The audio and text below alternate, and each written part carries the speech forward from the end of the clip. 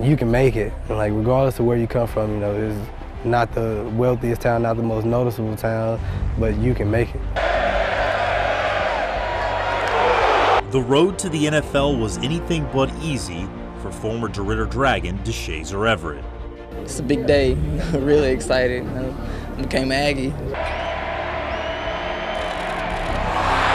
After four years with Texas A&M, Everett's pro dreams came true with the Washington Redskins. At Texas A&M, you know, I had issues off the field, and I had to deal with that. You know, fight adversity through that, and then going undrafted, then getting cut by Tampa Bay from you know injury aspects, and it's like you just learn so much throughout the business, and it's like I can't put my head down when something goes bad because you know I was never raised that way. The adversity didn't stop when Everett was signed as the cornerback battled to be one of four undrafted rookies to make the roster in 2015.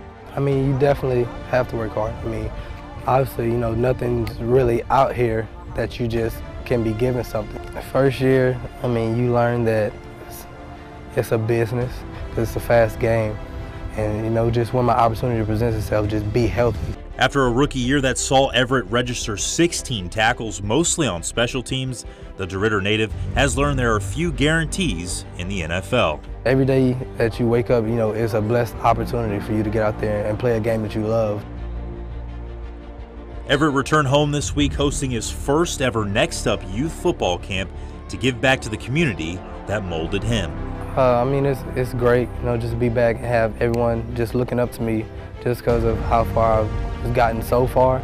I mean, I plan to go a lot farther, and I don't feel like I've achieved as much as I can, but just to know that they're looking up to me just from where I've gotten so far, it's like I could do so much more, not just for myself, but for the community to make them proud. And so they know, like, you know, Deshazor came from here.